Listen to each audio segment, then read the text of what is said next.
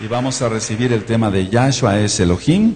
Por si tú tienes Facebook abierto, avisa a otros almas, a otros hermanos que se conecten rápido, en vivo, porque este tema es de mucho peso. Todos los temas son de mucho peso, pero este tema es muy importante.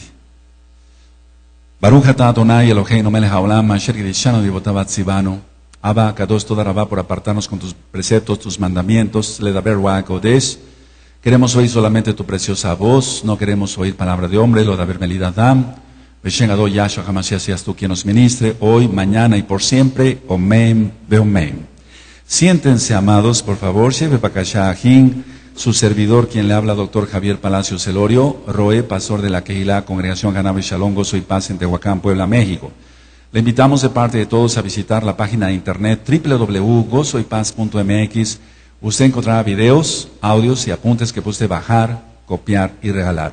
Hágalo y hágalo pronto porque los tiempos se están acortando.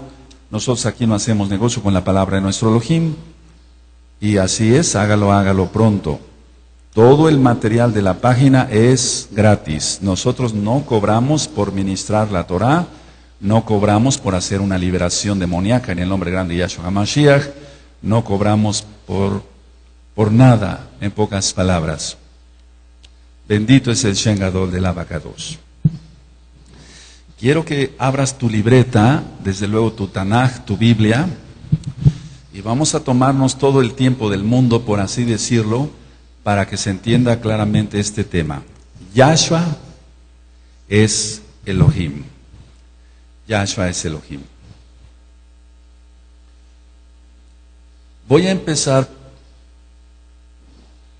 por explicar que soy médico cirujano y que el Eterno me ha permitido ya tener mucho tiempo en la medicina y entonces el trabajo secular como médico es mucho, muy hermoso, porque se rescata, entre comillas, a las personas de las garras de la muerte. Eso nos enseñan en la universidad a cada uno de los médicos. Y gracias al Eterno, hago un paréntesis, yo no hice ningún juramento hipocrático ni nada de eso. Pero el hecho de ser médico se tiene mucha bendición porque se rescata, vuelvo a repetir, entre paréntesis, solo Elohim rescata ¿eh? a las personas de las garras de la muerte. Ahora, si ese es el trabajo como médico, el trabajo como siervo del Eterno es rescatar almas que iban al mismo infierno. O sea que el trabajo es mucho más, porque en lo médico nada más es la carne, lo físico. Pero trabajar como siervo del Eterno va a depender que también se haga el trabajo. Lógico, la gloria solamente es para Yahshua HaMashiach. Yo estoy diciendo, y lo seguiré diciendo, que no soy el único ni el mejor. Porque hay gente mucho, mucho, con mucho conocimiento y mucha, mucha unción. Ahora, si es hermoso rescatar almas de la muerte, por así decirlo, que vuelvo a repetir solamente es Elohim, más hermoso es rescatar almas que iban al infierno. Cuando una persona me habla y me dice, oiga, oí un audio y eso me cambió la vida, yo le doy cabo al Eterno. No me voy a dar la gloria a mí mismo, porque eso no, no existe. O cuando me dicen, vi un video, y de eso tuve muchas experiencias de ayer a hoy, vi un video en YouTube y eso me cambió la vida yo doy gracias al Eterno. Y le digo, toda, toda Rabá Bacados, la acabó es para ti, la honra es para ti, el esplendor es tuyo. Porque si con un audio o un video gratis, porque se debe dar gratis, se cambió la vida de una persona y se rescató de las garras del infierno, de las, no de las garras de la muerte física, ¿cuánto más es rescatar almas que pueden ir al infierno? No es por nuestro trabajo, no es por nuestra fe, nuestros ayunos, que el Eterno lo toma en cuenta, pero sí es hermoso que el Eterno nos haya incluido en el equipo para trabajar a favor de la bendita Torah. Las horas que, que, invierte una persona en la escuela, en la universidad o en algún estudio de X o Z materia, es importante, sí, pero eso no lleva vida eterna. Y estudiar la Torah, sí. Guardar los mandamientos, sí. Entonces, la fe, que es creer, confiar y obedecer en Munaj en hebreo, que algún día fue dada a los Kadoshim, nosotros los que creemos que Yahshua es el Mashiach y ahorita y que es Elohim, tenemos que pelear, por así decirlo, ardientemente por la fe. Y quiero que abras tu Biblia y vamos a ir a la carta de Judas. A la carta de Judas, por cierto, les dejé de tarea, y sí, muchos ya lo, escucharon, la carta de Judas, que está en la página gozoypaz.mx, pero el día de hoy quiero enfocarme específicamente en que Yahshua es Elohim. En la carta de Judas, en el verso 3, porque solamente tiene un versículo, ¿ya lo tienen amados? Entonces anoten la cita porque después ustedes me van a ayudar a ministrar a otros. Dice, amados, por la gran solicitud que tenía de escribiros acerca de nuestra común salvación, o sea que ya eran salvos, me ha sido necesario escribiros exhortándoos que contendáis ardientemente, subraya, por la fe. Ardientemente por la fe. Que ha sido una vez dada a los Kadoshim. Ahora, voy a ir desglosando el tema y probablemente me lleve yo el día de hoy y mañana a las 4 de la tarde lo terminemos al entregar Shabbat. ¿Cuál ha sido esa, esa fe que ha sido dada a los Kadoshim? primer lugar, creer en Elohim Yahweh, creer que Yahshua es el Mashiach y creer que Yahweh y Yahshua es uno. Pero lo voy a ir desglosando. Cuando una persona empieza con un pensamiento de que Yahshua no es Elohim y antes creía que sí era Elohim, lo tengo por, por experiencia y otros hermanos aquí también y allá, que la persona va a acabar apostatando totalmente porque va a negar que Yahshua es Elohim después dirá que Yahshua no es el Mashiach y después se reprueba. Y de donde el Eterno lo sacó, de, donde el Eterno lo sacó, Hasatán, Yahshua HaMashiach le reprenda, con permiso del Eterno, lo va a volver a refundir ahí. Esto es experiencia, no es cuento. No es cuento, porque la persona se, se vuelve a su concupiscencia. Entonces aquí dice claramente y lo explico en la carta de Judas, se ve claramente en la Tanaj que Judas, Yehudá, ya había recibido informes de que había mucha apostasía. Bueno, si eso fue hace dos mil años, que no será ahora que el diablo está confundiendo a medio mundo, o el mundo entero está confundido, más bien por no seguir la bendita Torah. Y dice aquí que contendáis ardientemente por la fe. ¿Qué es eso de contender si la Biblia no es para contender, la Tanaj no es para contender? se refiere a defender la fe, la fe que fue dada a los Kadoshim. Ahora, en el verso 22, vamos para allá ahí mismo en la carta de Judas, dice, a algunos que dudan, convencedlos. Ahora, ¿por qué menciono esto? Porque se hace la pregunta a varios mesiánicos y se les dice, ¿tú crees que Yahshua es Elohim? Y la contestación que yo he tenido no una, sino muchas veces, es esta. Bueno, cuando venga Yahshua nos va a aclarar las cosas.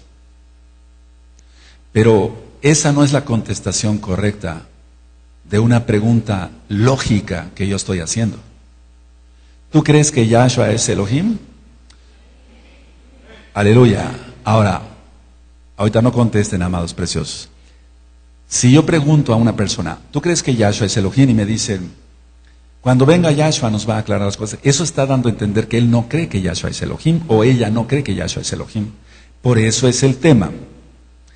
Entonces, algunos que dudan de la fe, dice, convencedlos. Nosotros oramos, ayunamos y el Ruajacodes hace su obra. Y entonces la persona dice, sí, sí, entiendo que Yahshua es Elohim. La mayoría de las personas a nivel mundial porque se tiene que entender que el ministerio para gloria del Eterno ya es mundial. Entonces, ahora que me dio el reporte uno de los ajim que maneja YouTube, es una cosa impresionante de miles de copias que se sacan por día de cada uno de los audios. Entonces, estamos hablando de una encomienda que el Eterno dio a esta congregación bastante fuerte, al menos de mi parte. Ahora, dice aquí, algunos que dudan, convencedlos. El verso 23, a otros, está hablando a otros, salvad. arrebatándolos del fuego. Entonces es lo que yo te decía. Si como médico para mí es muy importante ponerle rápido una inyección, etcétera, adrenalina hasta intracardíaca para un paro cardíaco, ¿qué no será en lo espiritual? Ponerle cortisona a una persona que tiene un shock anafiláctico o que fue mordido por una serpiente o por un escorpión o que se está desangrando y ponerle un torniquete rápido, ¿qué no será en, la, en, la, en, el aspecto espiritual? Es más, es más todavía, porque en el primer caso estoy actuando como médico y depende de la vida, pero depende de Yahshua, de Elohim mismo. Pero lo espiritual es todavía más. Entonces dice, a otros salvar arrebatándolos del fuego y de otros tener rajem con temor, aborreciendo aún la ropa contaminada por su carne, y tú encuentras la explicación en la carta de Judas. No voy a hablar ahorita sobre apostasía como tal, el tema es Yahshua es Elohim. Ahora, hay dos situaciones que yo he venido ministrando durante todos estos años, que no son pocos, pero tampoco son muchos, son ocho años de ministrar Torah. Hay dos aspectos en la Tanaj, en la Torah completa, que llaman mucho la atención. Una es la luz y otra son las tinieblas. Tienes las parashot en la página de internet para estudiar qué es según Bereshit y después repasaremos otra vez los cinco libros de Moshe, si el Eterno lo permite qué es la luz y qué son las tinieblas. La luz, anoten, eso ya está grabado en un audio, disipa las tinieblas. La luz disipa las tinieblas. Entonces, la luz disipa qué? Las tinieblas. Y en el aspecto tinieblas no se está refiriendo a una oscuridad. A ver, ahora pongan atención acá. Yo con esta lámpara si entro a una cueva, donde esté lleno de telarañas y de murciélagos, etcétera, y de tarántulas, yo no se ve nada, yo entro con esta lámpara o con una lámpara portátil y entonces voy disipando las tinieblas con la luz. Pero las tinieblas no pueden disipar la luz, anótalo. Las tinieblas no pueden disipar la luz. Es que si no empezamos desde cero, no se le entiende que Yahshua es Elohim. Si la persona no puede discernir qué es la luz y qué son las tinieblas según la bendita Torah, menos va a entender que Yahshua es Elohim. Entonces, ¿la luz disipa qué? Las una pregunta, ¿las tinieblas pueden disipar la luz? No, no, no, las, las ¿Cómo vas a entrar con algo oscuro para, para qué? ¿Para iluminar o para oscurecer? O sea, no, eso, eso no existe. Entonces, el pueblo de Israel estaba en tinieblas. Y el eterno Yahweh, Yahshua, mandó un profeta y lo mataron. Mandó otro profeta y lo mataron. Mandó otro profeta y lo mataron. Jerusalén, Jerusalén, que apedreas a los que te han enviados y matas a los profetas. Estaba profetizando Yahshua HaMashiach sobre la destrucción del templo de Jerusalén y de la misma ciudad porque fue quemada totalmente por Tito en el año 70. Entonces el pueblo estaba viviendo en tinieblas, necesitaba la luz. Y la luz, en este caso, bajó de los Shamaim en el Mishkan de Yahshua, Yahweh, para que pudiera iluminar este mundo. Los profetas, nosotros, bueno, en el caso del antiguo pacto, los profetas también eran luz, lógico, porque ministraban la Torah. Pero en el caso de que ya vino Yahshua HaMashiach y nos dijo, yo soy la luz del mundo, porque Él es la luz del mundo. Y después dijo a sus discípulos, ahora te dice a ti, a ti, a ti, a mí, que somos discípulos de Él, de Yahshua, ahora ustedes son la luz del mundo. Entonces el pueblo de Israel estaba en tinieblas, necesitaba la luz de Yahshua, quien es Yahweh, para disipar las tinieblas. Entonces vamos por favor a Isaías, al profeta Isaías, vamos a Isayahu. Bueno, ¿De qué se trata este tema? Rescatar almas del infierno. Y dos, que a los que dudan, convencerlos. Pero si después de que termine todo el tema, yo les pido por favor, con mucha exigencia, que estés muy atento a cada versículo que vamos a ir viendo. Aleluya. Ahorita está un poquito fresco, mañana probablemente haga calor, pero también les pido que estén muy atentos. Isaías 9, verso 2.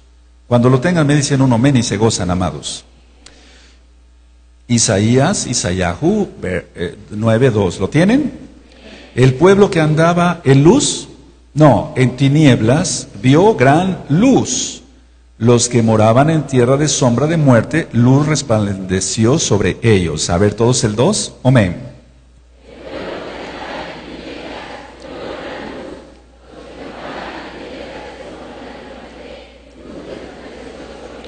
Las tinieblas llevan, las tinieblas son sombra y la sombra lleva a la muerte.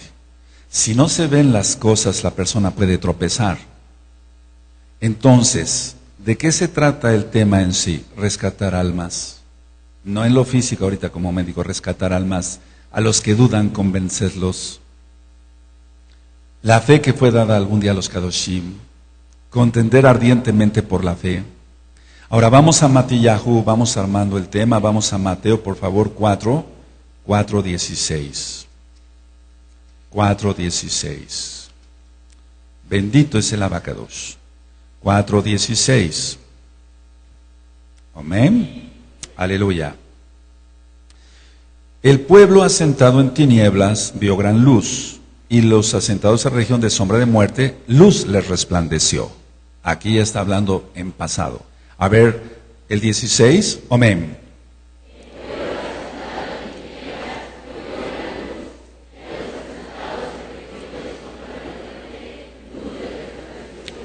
¿De quién está hablando? De Yahshua, Hamashiach. Tendría que venir Elohim mismo a disipar las tinieblas.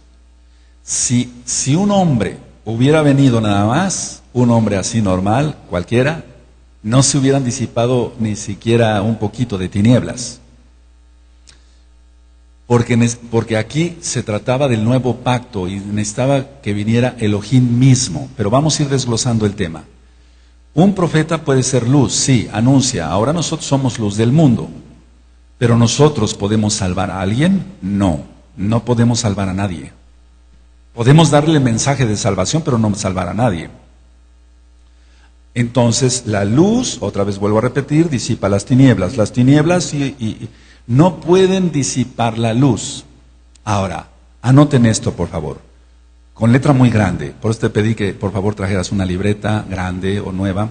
Los enemigos de Yahweh, Yahshua, tratarán de disipar la luz. Los enemigos de Yahweh, Yahshua, y no me equivoco, al tiempo, por todo lo que está sucediendo a nivel mundial. Los enemigos de Yahweh, de Yahshua, tratarán de disipar la luz. ¿Quién es la luz? Yahshua Hamashiach. Entonces se trata de que Yahshua vino y el enemigo trata a toda costa con sus hijos de desacreditarlo. Voy a poner un ejemplo. Si tú llegas al banco a cobrar algo no estamos cometiendo pecado porque estamos, no estamos en Shabbat, pero no estamos haciendo eso. Tú tienes que presentar tu credencial de lector, tu identificación para poder cobrar un cheque. Él, por así decirlo, presentó todas las credenciales como el Mashiach. Todas las credenciales, es decir, cumplió todas las profecías. Algún día daré ese tema, son cantidad de profecías y todas las cumplió Yahshua HaMashiach. Ahora, los enemigos van a tratar de hacer eso. Pero entonces nosotros que amamos a Yahweh, Yahshua, quien es uno, ahorita lo vamos a ver, nosotros tenemos que alumbrar, alumbrar. Ahora, la gente a nivel mundial, porque quiero que sepas que el problema es mundial, tenemos que entender eso claramente. Hace ratito hablando con unos hermanos, ellos me decían, Roe, sí, la quejilá tiene que comprender que la cosa ya es mundial. Sí, porque el Eterno dijo que esta palabra sería conocida hasta el fin del mundo. Así es. Y después vendría eso. El fin del mundo. Ahora, cuando uno no entiende lo que estamos hablando, la importancia que es todo esto de defender que Yahshua es Elohim, la persona está, está perdida. Quiero, quiero recalcar esto. Miren, cuando una persona empieza y dice, Yahshua no es Elohim, para empezar hay que ver su historial. Mira, cuando una persona, uno de mis pacientes se enferma de gravedad, yo lo que tengo que es de inmediato ir y revisar su historial. Te voy a poner un ejemplo práctico, y perdón que estoy aquí en el altar. Un enfermo empieza a vomitar sangre. Doctor, ¿se acuerda usted que hace 15 años vio a mi marido? Sí, y tenía una hemorragia, o ellos dicen, estaba vomitando sangre. Sí, otra vez empezó con lo mismo. Y yo quiero que usted lo atienda. Entonces yo tengo que ir al historial médico y revisar qué fue lo que pasó con ese enfermo. Tuvo una gastritis erosiva, fue una úlcera péptica o una úlcera gástrica que se perforó, tuvo tuberculosis en el estómago o tuvo tuberculosis pulmonar y expulsó sangre y aparentemente eso viene del estómago, eh, etcétera, mil cosas.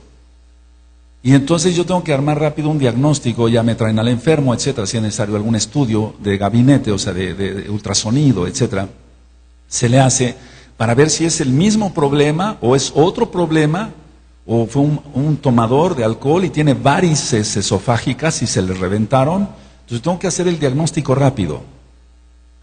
Pero generalmente la persona, si fue un tomador y no realmente quiso dejar el alcohol, lo más probable es que haya vuelto a tomar y vino otra vez una úlcera péptica sangrante y entonces ya tengo el diagnóstico, ya no hay ningún problema y tengo que atenderlo rápido. Bueno, lo mismo es en lo espiritual, pero es más allá. Yo tengo que revisar el historial, el historial de ese congregante, o tu amado Roel le tienes que hacer así, entonces se revisa el historial. Porque dice en la Tanaj, que muchos escucharán doctrinas de demonios, negando la fe, se van a reunirse con sus propias concupiscencias, entonces se revisa el historial y no falla. Es que esto es así. Si en la medicina es exacto, ¿cuánto más en lo espiritual? Y entonces, a ver, ¿este qué cosa era? Bueno, yo tengo entendido entonces que era un pandillero. Ok, ¿qué mentalidad puede tener un pandillero? ¿O qué mentalidad puede tener uno que era robacarros? O que era un asaltante o era un ladrón. Ahí está la mentira, etcétera. Están involucrados varios, varios pecados. ¿Puede acaso alguien que dio testimonio, un excelente testimonio, hablar con su testimonio, un pecable, intachable? ¿Me puede decir a mí que Yahshua no es Elohim? No nací ayer y entonces no es que hayamos tenido muchos o tengamos muchos años de edad, sino es la unción que el Ruach deposita en cada uno de nosotros para hacer el diagnóstico rápido. Y entonces lo que resulta es que esa plantita, eh, o digamos, esa persona no, no creció, no floreció, etcétera, etcétera, no mató su concupiscencia, no murió en su concupiscencia, y el diablo lo atrapa, no con una, no con una cuestión de, de doctrina de otro tipo, sino, vamos, si esta persona, por ejemplo, una mujer, le rechocó, por así decir, no sé cómo se diga en otros países, cubrirse la cabeza y traer una falda larga. Dice, Yahshua no es Elohim. Para que no contamine el rebaño, se le expulsa de la congregación y al otro día la ves sin su cabeza cubierta y con la falda corta. Entonces, vamos, ¿de qué estamos hablando? Porque esto es mundial. Me van dando el reporte los, los ruanim, los pastores, los, los ancianos, y aquí también tenemos ejemplos. Si realmente dijera, no, Yahshua no es Elohim, yo me voy al judaísmo ortodoxo. No, hombre, con mayor razón traería, es un decir, ¿eh? su cabeza cubierta, porque como mesiánica lo tuvo que haber hecho, y su falda larga. Pero está saliendo rápido la concupiscencia, porque lo marca la Tanaj. El varón que dice, Yahshua no es Elohim, dio un testimonio intachable, porque si no, no le ha amanecido, como dice la Tanaj y consultan a los adivinos y a los agoreros. Entonces dio un testimonio cómo, cómo vino la persona vestida a Pesaj, vino bien, eh, cómo se, cómo se comportaba en su vida diaria, en su trabajo. Dio testimonio. Entonces, la situación es muy fácil para hacer el diagnóstico, amados. No es tanto negar que Yahshua es Elohim, es volverse al mundo. Porque de eso tenemos registrados, al menos yo tengo registrados, miles de ejemplos de gente que empieza a decir Yahshua no es Elohim, Yahshua no es Mashiach. se vuelven judíos ortodoxos y al rato acaban reprobados. ¿Por qué? Porque se volvieron a su concupiscencia, porque nunca renunciaron a su concupiscencia. Entonces, la luz de Yahshua disipa las tinieblas. Y como ellos no quisieron que Yahshua fuera, Yahshua Hamashiach fuera su Señor, su Adón, pues, su Mashiach, su Elohim, su juez, su todo, su Dios, para que se entienda, entonces dicen, Yahshua no es Elohim, y rápido se reprueban. Eso es así, amados. Por eso ese bello grupo, este bello grupo, este bello grupo y ese bello grupo muy grande, tengan mucho cuidado, los pastores, los ancianos, observen, porque los diagnósticos se ven venir siempre. Siempre se sabe quién va a ser un traidor, eso que ni qué, siempre. Ahora, ¿por qué digo, según la Tanaj, que Yahweh y Yahshua es uno? Vamos a ir por puntos. Número uno, cuando Elohim, Yahweh, hizo pacto con Abraham, lo llevó a un profundo sueño, porque, ustedes me dicen cuando pueda continuar, porque Yahweh sabía que Abraham como hombre podía fallar. Esto es muy importante que lo anoten, amados, si quieren vuelvo a repetir. O sea, Yahweh hizo pacto con Abraham, pero cuando va a pasar Elohim, ahorita lo vamos a ver la cita, sume en un profundo sueño a Abraham, entonces tiene la visión que el pueblo iba a ser llevado cautivo, o sea, más bien que iba a permanecer cautivo, perdón, en, Israel, no en Babilonia, en, perdón, en Egipto, que Israel vaya a estar en, Egipto, pero Yahweh no hizo el, eh, no juró por Abraham, sino por sí mismo. Y eso lo vimos en las parashot. Porque aquí estaba hablando de la redención total de Israel y del mundo. Y él no podía poner en un humano, pongan mucha atención por favor, él no podía, Yahweh no podía poner en un humano una misión tan grande como la redención de Israel. No podía poner en un humano, podía poner que lo guiara, como en el caso de Moshe, pero de salvar a Israel, no, tenía que ser él mismo. ¿Sí se entendió, amados? O sea que no juró, no dijo, juro por Abraham, no, sino juró por él mismo. Vamos por favor a Génesis, Bereshit 15, Bereshit 15. Aleluya. Y voy a leer desde el verso 6 al verso 13, o un poquito antes. Esto es muy sencillo, no es un tema de mucha, es un tema de fe, pero basado a la Tanakh, no es una fe ciega. Génesis, Bereshit 15, verso 6, ¿lo tienen? Ok, voy a leer. Y creyó a Yahweh y le fue contado por justicia. Y le dijo, yo soy Yahweh que te saqué de Ur de los Caldeos para darte a heredar esta tierra. Y él respondió, Adón Yahweh, ¿en qué conoceré que la he de heredar? Y le dijo, tráeme una becerra de tres años, una cabra de tres años y un carnero de tres años, una tórtola también y un palomino. Y tomó él todo esto y los partió por la mitad y puso cada mitad una entre la, de la, enfrente de la otra mas no partió las aves. Y descendían aves de rapiña sobre los cuerpos muertos y Abraham las ahuyentaba. Mas a la caída del sol sobrecogió el sueño a Abraham y aquí que el temor de un grande, una grande oscuridad cayó sobre él. Entonces Yahweh dijo a Abraham, Ten por cierto que tu descendencia morará en tierra ajena y será esclava allí y será oprimida cuatrocientos años. Y ya después viene la promesa de la liberación de Israel. Ahora, Está hablando de la liberación de Israel. ¿Está hablando de qué? Entonces no podía jurar por Abraham, sino por él mismo, porque se trataba de la libertad total. En este caso de la libertad, miren, dice, mas también a la nación de la cual servirán, juzgaré yo y después de esto saldrán con gran riqueza. La cuestión de la libertad la da solamente Elohim. Grábate muy bien eso. La libertad solamente la da Elohim. Ningún hombre, ningún medicamento para la depresión. No, pues eso es absurdo.